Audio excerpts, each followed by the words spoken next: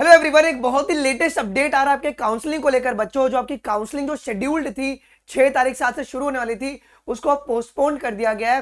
As per दी sources जो कि media reports के अंदर प्रिंट हो रही है इंडियन एक्सप्रेस हो टाइम्स ऑफ़ इंडिया हो एएनआई का जो ऑफिशियल ट्विटर हैंडल है, वहाँ पर भी इसकी जानकारी क्या दे दी गई है कि जो आपका नीट यूजी का जो काउंसलिंग शुरू होने वाला था, उसको पोस्टपोन कर दिया गया है और किसी भी न्यू डेट के बारे में डिस्कस नहीं किया गया है। रही दूसरी बात कल जो एफिडेविट यहाँ पे एनटीए ने और मिनिस्टर ऑफ़ एजुकेशन ने फ़ाइल की थी, उसी प्रकार का सेम एफिडेविट 2015 में भी फ़ाइल किया गया था और उसमें सुप्रीम कोर्ट ने क्या डिसीज़न लिया था, उसके बारे में हम बात करेंगे जी। पहले ये देख लेते हैं कि क्या कोई न्यू डेट के बारे में यहाँ पे डिस्कशन हुआ है क्या? सो बिल्कुल भी आपका डिस्कशन यहाँ पे नहीं हुआ है। देख लीजिए यहाँ पे। तो the counselling process of the NEET UG 2024 has been deferred until the further notice. Okay, despite this Supreme Court refusal to delay it. और सुप्रीम कोर्ट ने साफ़ साफ़ हर पिटिशन में बोला था कि हम काउंसलिंग को बिल्कुल भी डिले नहीं करेंगे। अब सरकार गवर्नमेंट अपने एंड से जो है इसको भी स्टे लगवा रही है इसके ऊपर। होल्ड कर रही है जी। The all India quota seat counselling was initially scheduled to start on six July आज से शुरू होने था। Currently no new date has been announced for the counselling sessions कोई भी नया डेट या नया इंफॉर्मेशन बुलेटिन जो है रिलीज़ नहीं हुआ है। नहीं तो पहले पीडब्ल्यूडी के लिए भी एक आपका नोटिस आएगा, उसके बाद ही चीज़ें आपकी आगे बढ़ती थी। ऐसा कुछ भी आपको डेवलपमेंट देखने को नहीं मिल रहा है।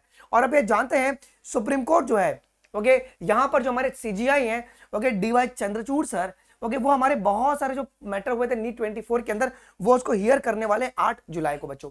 ओके मैक्सिमम बच्चों का डिमांड ये आया था ओके एनटीए को ये बोला गया था कि भाई पेपर का जो है एग्ज़ाम को कैंसिल किया जाए और पेपर को रिकंडक्ट करवाया जाए। बट यहाँ पे कल हमारे पास क्या हुआ जी? सुप्रीम कोर्ट के अंदर दोनों एफिडेविट कल फ़ाइल हो गई है मिनिस्टर ऑफ़ एजुकेशन से भी और आपकी एनटीए की तरफ़ से भी। उन्होंने ये बोला है कि जो भी आपकी जो ब्रिज हुई है, वो लार्ज स्केल पे नहीं होके बहुत ही स्मॉल रेडियस में हुई है जी। तो आप इसके लिए कम बच्चों के, का नंबर आप देख के ज़्यादा बच्चों का परफेक्ट मत कीजिए।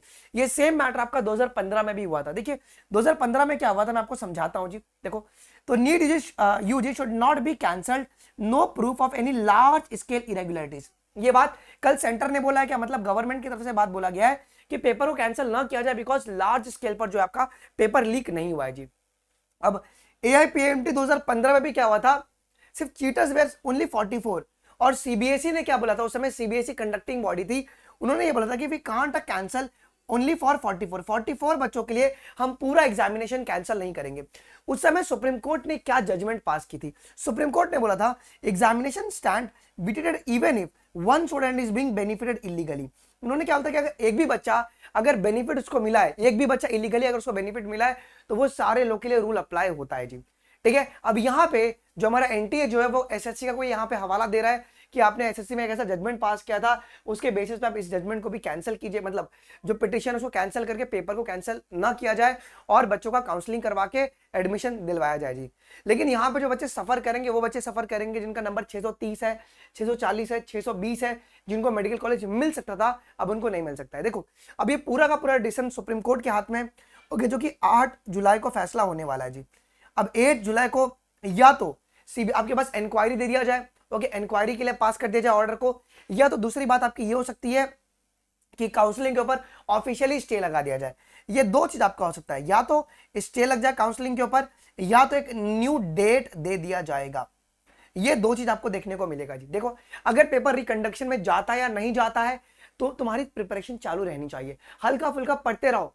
बिकॉज़ अगर रीनीट होगा तो तुमको एटलीस्ट एक महीना, चार हफ़्ते का आपको टाइम दिया जाएगा। सो so बिल्कुल भी आपको मिस नहीं करना है बच्चों। This a very very important and crucial time for you guys ठीक है?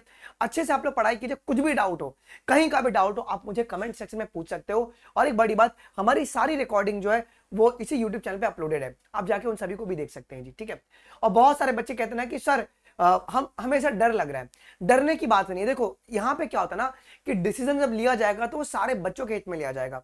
मेरी कुछ वकीलों से बात हो रही थी, वकीलों ने यही बोला कि यार सुप्रीम कोर्ट है यहाँ पे ज़्यादा बच्चों का नुकसान होने नहीं देगी। बट 2015 का अगर हम जजमेंट देखते हैं, उस हिसाब से अगर पेपर को ट्रेस नहीं किया है, तब तुम्हारा रिकंडक्शन में पेपर जाएगा जी। ठीक है? तो मैं कुछ भी हवा हवाई बातें नहीं करता। बहुत सारे लोग जो है ना, वो बोलते हैं कि आगे न्यूज़ वाले सर आगे तुम कभी क्लास में भी आया करो यार, है ना? कहते पढ़ाने आता नहीं न्यूज़ देने आता है। तुम पढ़ने आते किधर हो यार? कभी आओ बायोलॉजी को फील करके बताएँगे बायोलॉजी होता क्या है कभी?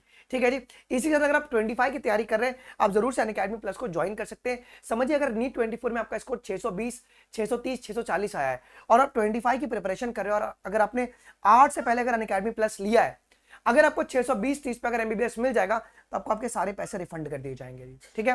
आइए, दूसरी बात, हमारी नीट ट्वेंटी के लिए एक्सक्लूसिव ड्रॉपर बैच चालू हो चुकी है जी बच्चों। ओके सिर्फ़ अन अकेडमी प्लस आपको फाइव ट्रिपल नाइन में मिल जाएगा।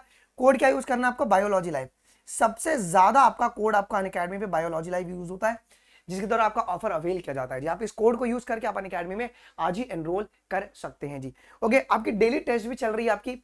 ओके टेस्ट सीरीज़ आप लोग ज्वाइन कर सकते हैं, जो कि हर शाम को छह बजे आपके चल रही है। आई होप की वीडियो तुमको इन्फॉर्मेटिव लगा होगा। मिलता है अगले वीडियोज़ में। अभी के लिए बचता नहीं थैंक यू जय हिंद। बाय